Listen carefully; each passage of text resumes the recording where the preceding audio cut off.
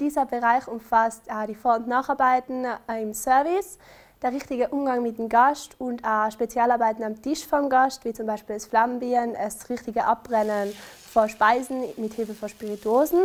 Ähm, wir bereiten dann auch einen Hummer zu und der Hummer wird dann filetiert. Ähm, da werden dann zum Beispiel die Scheren abgeschnitten und die Füße. Der Hummer wird dann weiter in einen Hummercocktail verarbeitet. Dann wird nur eine Ente filetiert und richtig angerichtet. Also mir gefällt also in diesem Bereich eigentlich am besten, dass man den Umgang mit Lebensmitteln lernt, dass man mitbekommt, wie man das so schön anrichten kann und es einfach den Gästen schmackhaft machen kann. Die verschiedenen Spezialarbeiten, was wir hier alles mitbekommen und auch die Veranstaltungen, was wir dann im Zuge der Praxisunterrichts unternehmen dürfen. Besonders liegt unser Fokus auf regionalen Kooperationen und Events.